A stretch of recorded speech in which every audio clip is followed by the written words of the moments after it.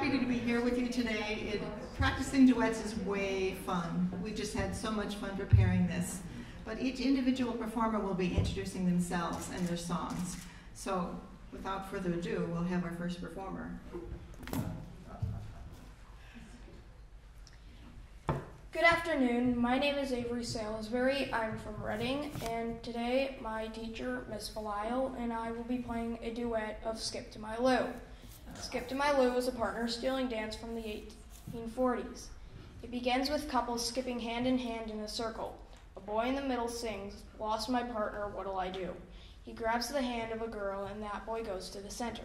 Another verse is, I'll get another one sweeter than you. Lou is the Scottish word for love.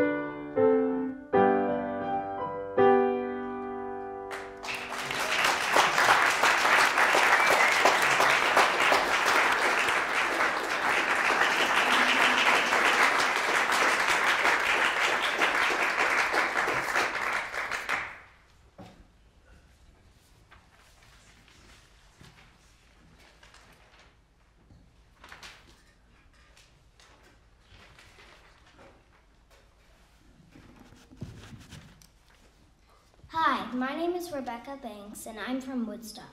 I'm going to play Main Street Rag by Carol Matz. Mrs. Belisle asked me, What is Main Street? I told her that's our Central Street. Then she asked me, what is, What's the activity like on Central Street? And I told her people are busy shopping, especially at my parents' bakery.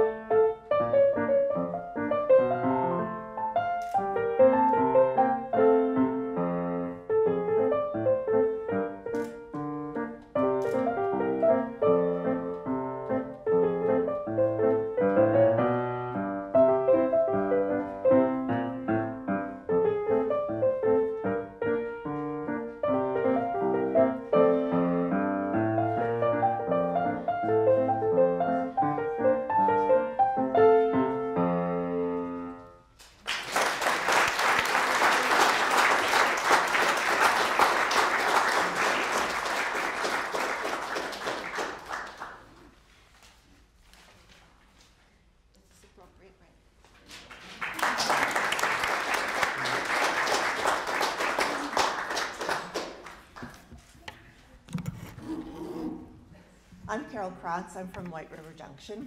And Gwen and I are playing one of the dances from Alexander Borodin's Prince Igor, which was an opera. At the beginning of this opera, um, there's a scene where there's a full solar eclipse, which foreshadows his defeat in, the, in a battle. Um, this dance that we're playing actually comes from the end of Act Two. It's a, actually called Gliding, the Gliding Maidens in which they compare love to a flower that droops in the heat of the day but is revived at night. Um, you may recognize this tune as another song that was um, written for the musical Kismet.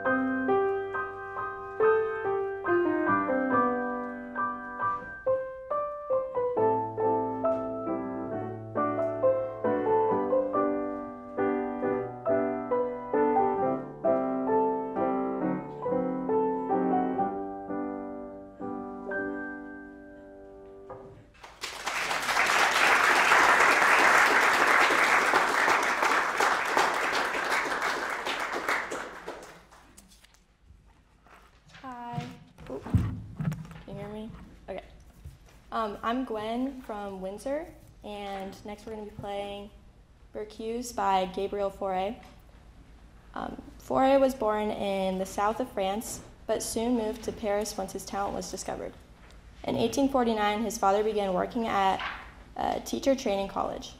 There was a chapel attached to the school, which Fauré recalled in the later years of his life, saying, Every time I could get away, I ran there. I played atrociously, no method at all, quite without technique, but I do remember that I was happy. He soon moved to the South, uh, the School of Classical and Religious Music. Once he finished schooling, he spent most of his time teaching piano lessons, composing, and playing for a church. This piece, Berceuse, was written by Fauré in 1879. In its original version, it is for solo violin and piano. In response to its popularity, it was later arranged to a piano duet.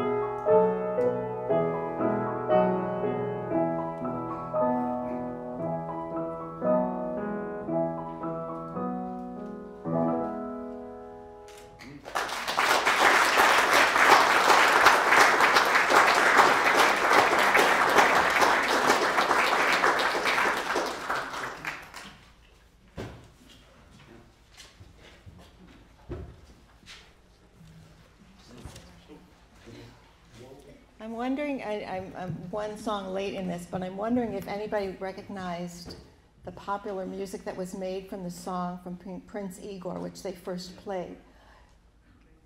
What, what? It's from Kismet. What's the name of the pop song? Stranger in Paradise. I have a cookie as an award.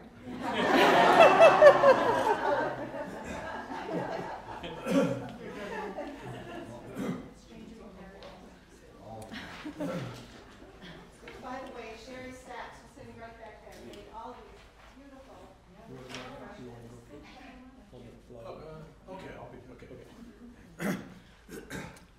Hey, I'm uh, Sonny from Woodstock, and uh, when uh, I heard we were going to do this, I didn't know what to play, and Bob suggested this uh, song called Piel Canela that I hadn't heard, and it's, uh, it's, a, it's a Spanish uh, type of rhythm and type of song, and it was really fun for me to uh, play something of a tradition that I, I didn't know well before, and I wound up enjoying the song uh, immensely. So I'll let Bob tell you the details about it.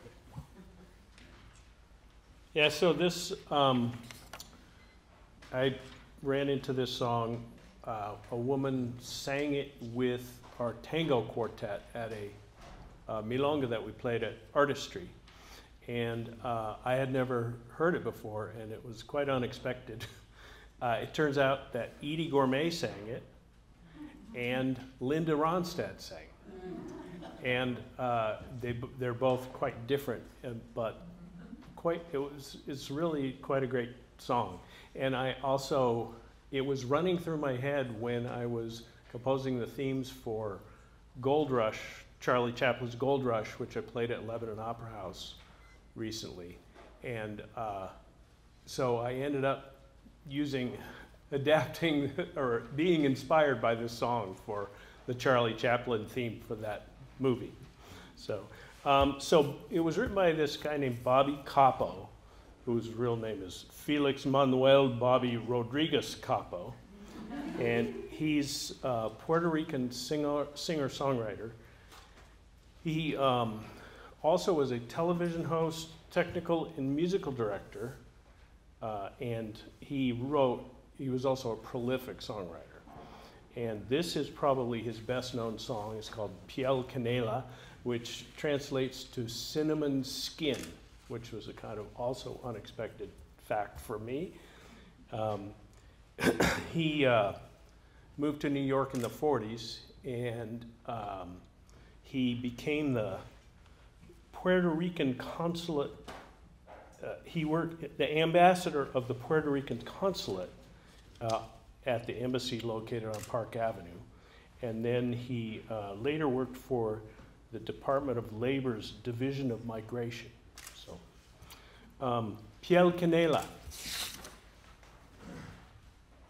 which, by the way, is this is quite different for what from what we usually play. So.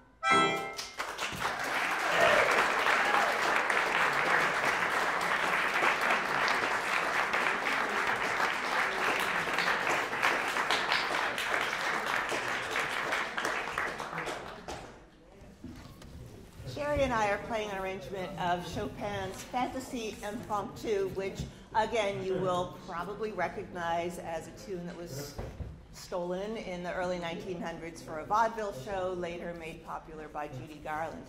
Chopin was actually born um, in, oh, it's a cool town, I have to pronounce it, Zelazowa Wola in Poland, but later moved to Warsaw. His, um, his father was French, therefore the name Chopin, and when he was 21, he moved to Paris and Francified the first part of his name to Frederick as well.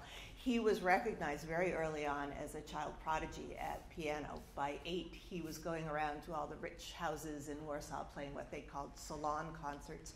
And even as after he moved to Paris, he only gave about 30 performances in this salon setting.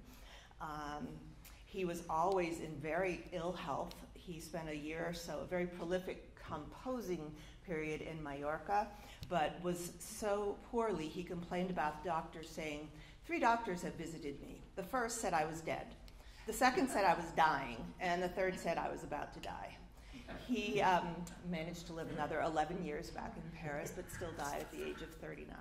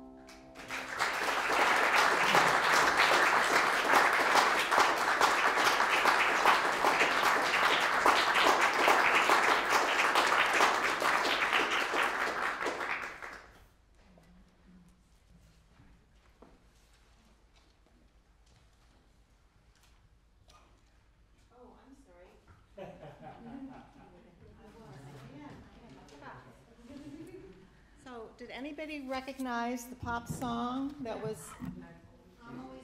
I'm Always Chasing Rainbows? That was written in 1917 and was in a Broadway show the next year. Judy Garland, two more films, and another Broadway show. Very popular in the 1940s. Let's see what's up there. So, I bet this will surprise you. Paul McCartney and John Lennon uh, sang in church a lot when they were little, growing up. And that Bach influence carried through to many of their songs. Oh, Sacred Head Now Wounded, some of you may know, that was inspired to be Bridge Over Troubled Water, an American tune. Sometimes it's the melody, sometimes it's the chordal structure. Paul McCartney uh, wrote Blackbird, inspired by Bach's Bourrée in E minor. Paul and John sing, sang, oh, this singing in Liverpool. Penny Lane, you can hear the piccolo trumpet playing lines from Bach's Brandenburg Concerto number two. The Beach Boys were inspired by Jesu Joy of Man's Desiring to write Lady Lynda. Lady Gaga, Bad Romance is from Fugue in B minor. And Amy Grant, Sing Your Praise to the Lord, comes from Bach's Fugue in C minor. Pretty impressive, huh?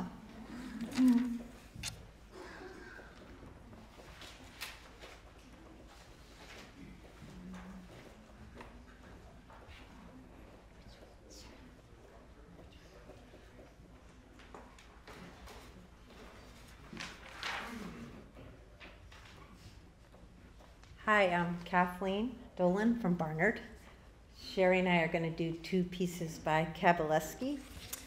Just a quick uh, little bit about Kabalevsky. Dmitri Kabalevsky was born about the same time as George Gershwin, but lived in Russia. He played piano by ear by the age of six, and by 18 entered the Moscow Conservatory, where he took lessons and also taught piano. He toured both Europe and the United States. He often used Russian folk songs in his compositions and enjoyed writing for children. We'll play two of those, the first called The Clown.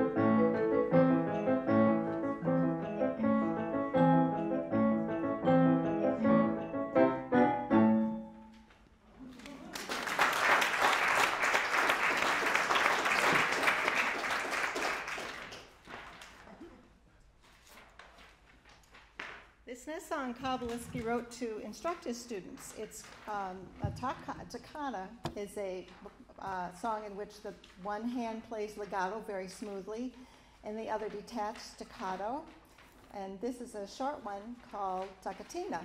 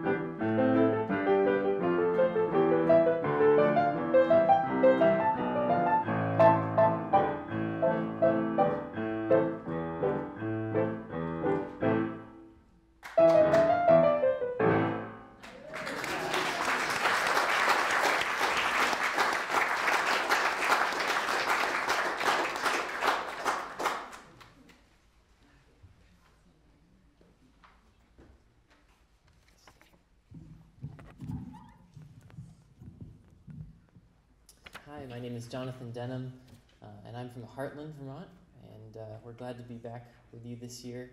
Um, and Les will introduce himself in a moment. Um, our first piece we're going to be doing is by Gabriel Fauré, which uh, Gwen beat me to the introduction already. So uh, I'll just mention a couple things. Uh, this year is the 100th year of, uh, since his death. He died in 1924. And in the 1880s, he composed a very beautiful requiem or funeral mass. And so we're going to be doing one of the movements from that uh, requiem, uh, the Sanctus movement. It's a really peaceful, gentle, beautiful, pensive mass. Um, and I would encourage you to, if you don't know it, take a take a listen later. Uh, we'll approximate it as best we can. It's for orchestra, organ, and voices. Uh, so we'll see what we can do. But uh, please enjoy the Sanctus movement from Fauré's Requiem, arranged by Darwin Wolford.